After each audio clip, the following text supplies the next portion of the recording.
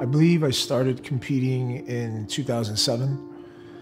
Um, previously to that, in 2004, I had lost my older brother, and that was a very big motivation to to seek a seek a safe haven in in something.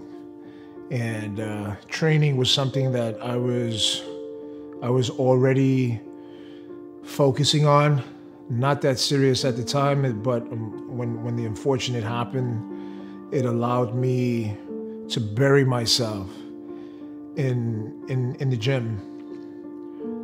Because prior to that, I had spent some time away, and during that time, I, uh, which is probably this is probably the first time I've ever mentioned that to to, to anybody.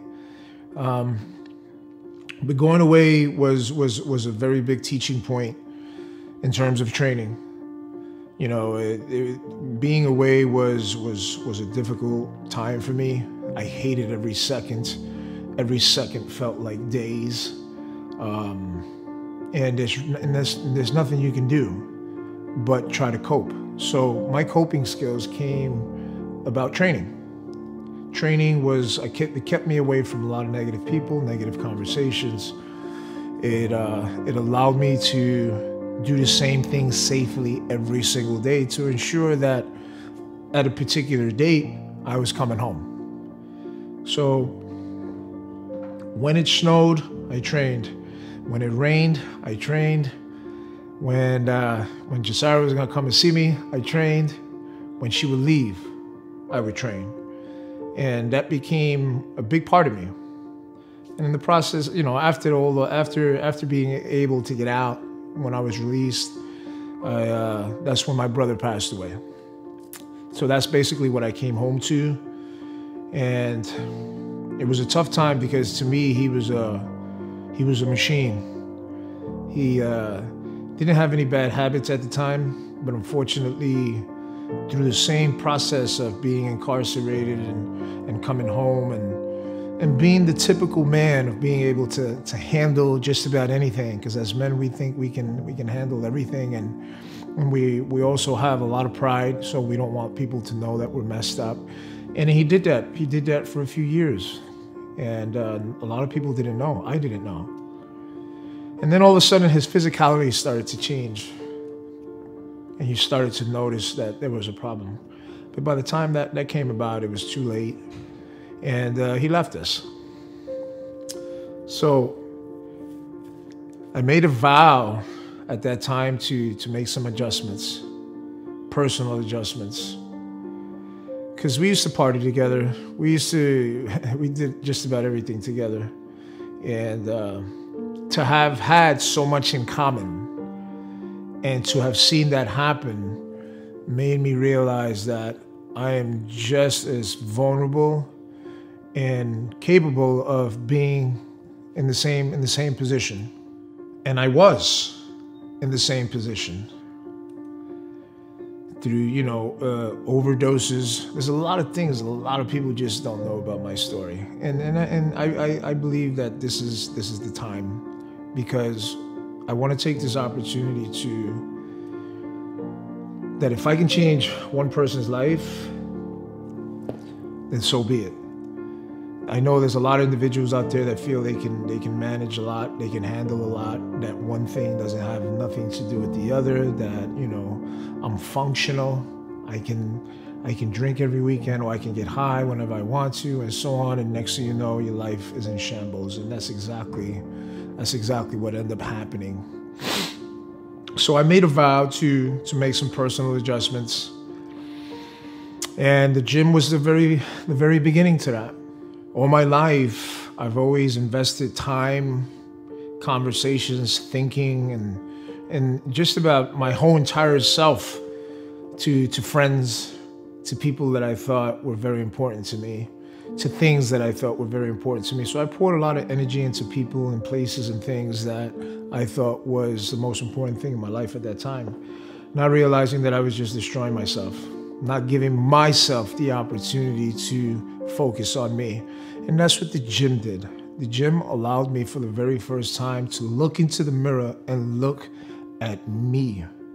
Not my brother, not my friends, not the place I was at, but just me.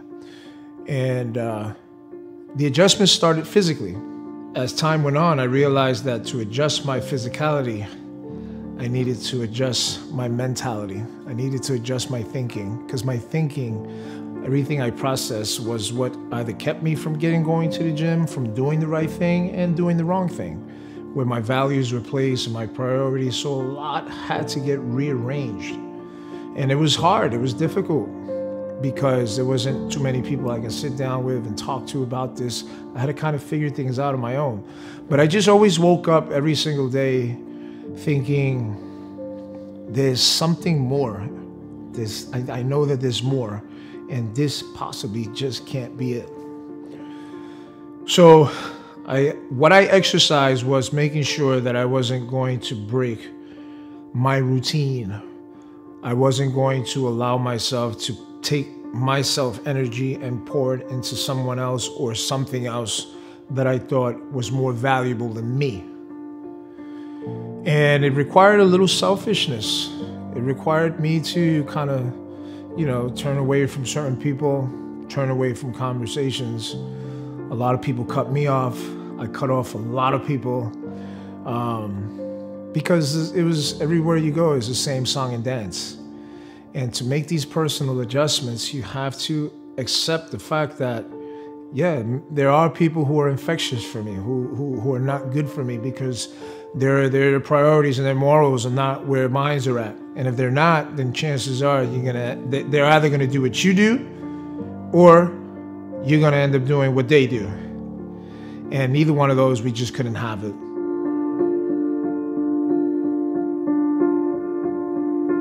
I did my first show in 2007. So after I did my first show, I, uh, which I believe John took second at that time. So John had a hell of a great start, and I admired him tremendously. I looked up to him, and when it came to to the sport of bodybuilding, he had really good genetics and and the ability to look so different from everybody else, and I just always was astonished by that. And in that show, he took second.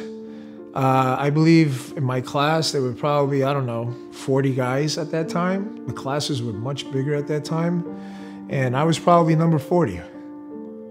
And if I'm not mistaken, I think Juan Morel was 39. so, with that being said, you know, with what we're seeing today in the sport of bodybuilding, you guys who get that kind of place and they'll probably never get back up on stage again because ah, this isn't for me which is what you tend to see a lot of more and more and more and more and more. Even with people that place in the top five, still they're not happy because they didn't win. Not understanding that this is, you know, it's progression, it's it's time, it's dedication. You have to fall in love with the sport. You have to fall in love with the ability to do what, what you do in the gym in order for you to continue to prevail in, uh, in, the, in the sport of bodybuilding. And that's what people fail to understand that, yeah, you might have got 40 here, but it doesn't mean that can't get better because my 40 became 20. That 20 became 10. That 10 became top five. And before you know it, you know, when we showed up, there was trouble. And that, that was something that I took a lot of pride in because I made that happen day in and day out, day in and day out. So, with the same amount of energy that it took me to, to destroy a lot of things, to, to to destroy my own life. It uh, it was only right that I was that I gave myself that opportunity to put it in a positive aspect. And as soon as I did, wow, life just said, you know what? We've just been waiting for you. We've just been waiting for you, man. You just needed to wake the fuck up. And when we did that, it was uh, I found happiness. I found control. I found clarity. I found positivity. And uh, I never knew what that was. I never knew what that felt like. And if if you want to know what that feels like, it's picture yourself not having anything and still being the happiest person on the planet. That's what it feels like. Because oftentimes we think we need these amazing cars, we need all this money, we need uh, the lavish houses and the big jewelry and so on and so forth. And at the end of the day, no, you don't. No, you don't. It's nice to have, but it's not something you need. And what I needed was to have clarity. Because once the clarity set in, I understood that everything I've been chasing all my life, I didn't need. What I needed was to put myself first.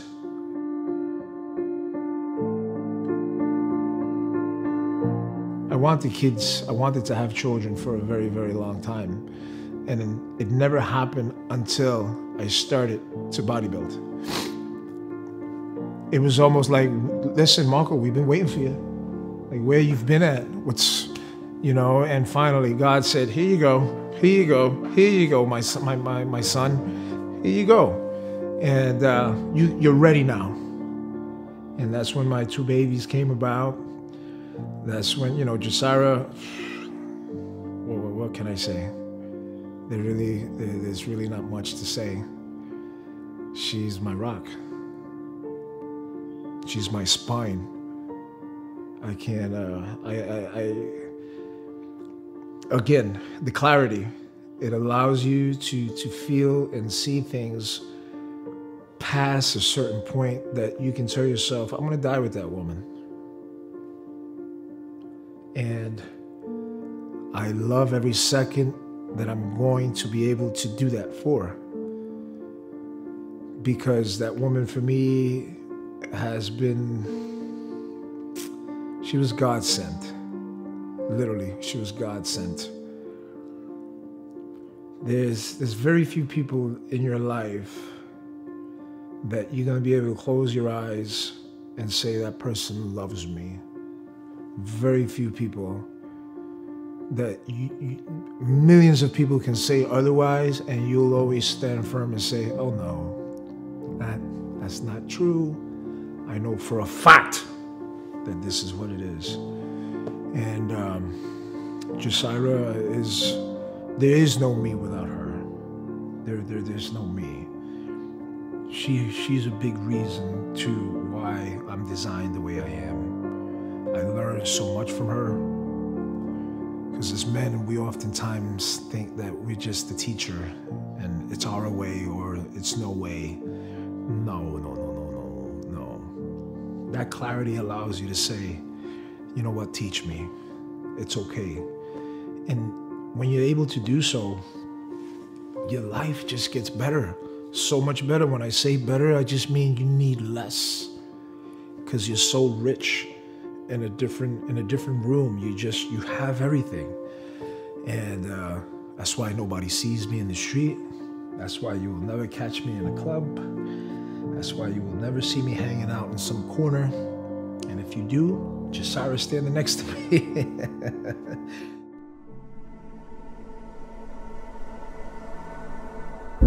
it was the uh, 2000, 2011 Nationals. That's when I turned pro. Where was that? That was in Miami. Uh, all my friends are there. Uh, my wife is there. Um, the, the the initial the the top five, the whole lineup was outstanding. Uh, everybody that was in the top five in that class eventually went on to turn pro, if I'm not mistaken, uh, which lets you know that all these guys are good. Uh, I remember getting to Miami, or better yet, I'm going to go back a little bit. I remember 2010 when I first did the Nationals in, in Atlanta. I took sixth place, not knowing what to expect. I went in there, you know, with an open mind and let's see what happens, because I've never experienced a national stage before. And when I took sixth in my first national show, at that time, where that was even placing that high was a difficult thing. So you should see guys that look great, man. It's like you didn't get top five, like, like all right, here we go, man. I'm, it's not gonna be that easy. But when I got sixth place on that on that 2010, I told myself, all right, we're in the mix. Let's put the work in. Let's go back to the drawing board. Let's do what we do, and let's come back to rock 2011. And in 2011, we did exactly that. When I say we, at that time, I was working with Factory, who did an outstanding job with me. Uh, we won, uh, and um, but what made that that day so memorable was me getting in the lineup.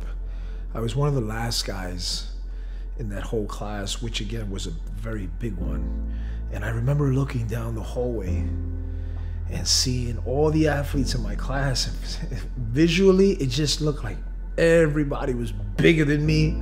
It was my head. I was, I was, you know, your head starts playing games with you. But the good thing for me is that I can see that and I can I can think things like that and I won't allow it to affect me on stage. So we came out on stage and and when you get the response from the judges in the crowd, that's when you know, all right, nah, we're good, man. We're we're we're in shape. And we came out, we did prejudging, got top five, we got first call out, came out. And uh, after prejudging, I was losing by a point because at that time during the nationals, between prejudging and finals, you can find out what the scoring was. They have it posted in the host hotel. When you get back, you can see if they got you for second. You can see the point scoring system already happening. So I saw that I was losing by a point, which is kind of discouraging. You know, when you when you walk off and you think maybe, maybe not. I don't know. Let's see. And then you go back and it's like I'm, I'm losing by a point. Chances are, when you're losing already, it's very, very difficult to get that back. So in the process of between prejudging and finals, I everybody's carbing up. I dropped my carbs. I didn't have no carbs, um, which allowed me to get a little bit more tighter. And when we came back for for finals, you know, we was uh, I had not mentally given up yet. I said we're gonna have to fight this out. But during the finals, they rejudged it. They tapped the microphone. We're rejudging the scoring. And that's when I said, it's fucking on. It's on. My heart started pounding. I felt like I was going into a heavyweight championship fight, man. And the aggression came out that's when I started really having a blast on stage, and I knew that I was in, I was I was the one losing by point, so it was my point to get back. And when they set us to the side and they started calling out the top five, and and then they got to the second place winner, and they didn't call me, and I realized that I had won. It was a it was a very very special moment. The crowd went nuts my friends i mean it was it wasn't just me. It was like everybody felt exactly what i was feeling because how many times or who who gets that opportunity? How many times you see certain shows get rejudged? Is that the judges call based on what is it they see? And if they see things leveling out differently they have the right to do so. And for, for them to have exercised that right with me at that time you know, me going back and not having the carbs and those things, like it really told me, man, yo, you just made this happen. You know what I mean? You just, it just happened. And uh, it was seeing the fruits of my labor coming about. And as amateurs back then, your, your only dream is to get your IFBB Pro card. You see what people go through nowadays trying, they get so bent that it, they, everybody's chasing that IFBB Pro card. So to have accomplished that was like me graduating from Harvard. Because where I come from and the things that I've been through, that was the biggest and most best thing I've ever done in my life, aside from from from being meeting, marrying my wife. Uh, winning that IFBB Pro card was such a big self accomplishment because nobody woke me up to go to the gym. Nobody forced me there. Nobody had to tell me, yo, you gotta do your cardio. No fucking body had to tell me anything. I got up and I got it done. And just so you know, I remember riding my bicycle because that's all I had back and forth from the gym. I would go food shopping and you would see this big galoot on a mountain bike, middle of winter, okay, with shopping bags from Pathmark on each side, let alone my gym bag in the back, and riding through snow because it was my only form of transportation. But I was humble. I was humble to do that. But those are the those are the that's that's the foundation. How do you mess up having to do that every day? You're gonna go. You're gonna you're gonna sacrifice and and and and do whatever it takes to get there. To just all of a sudden throw it away or disrespect it by not doing the work accurately and and and, and fulfilling every training session to the T every time you go into the gym. I, I, I just couldn't do that. And um, yeah, we won we won the nationals. And for me that was that was the most amazing day of my life.